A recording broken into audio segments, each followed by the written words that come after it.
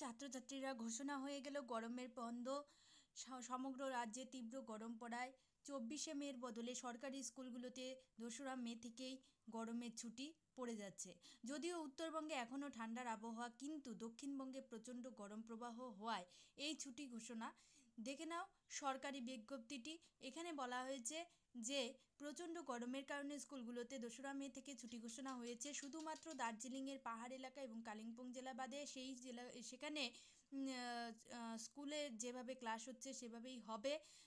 সরকারি ঘোষণা না হওয়া পর্যন্ত দোসরা মে থেকে স্কুল বন্ধ হলেও যে কোনো সময় স্কুল খুলে যেতে পারে, সেটা সরকারি ঘোষণার ওপরে নির্ভর করবে। কারণ অর্থাৎ এই ছুটি চলাকালীন গরম যদি হঠাৎ কমে যায়, তাহলে স্কুল আবার খুলে যাবে। কিন্তু ছুটি যে দোসরা মে থেকে ঠিক কত, সে সেটা কিন্তু বলা হয়নি। দোসরা মে থেকে শুরু হবে। এরপর অনির্দিষ্টকালের জন্যই এই গরমের ছুটি।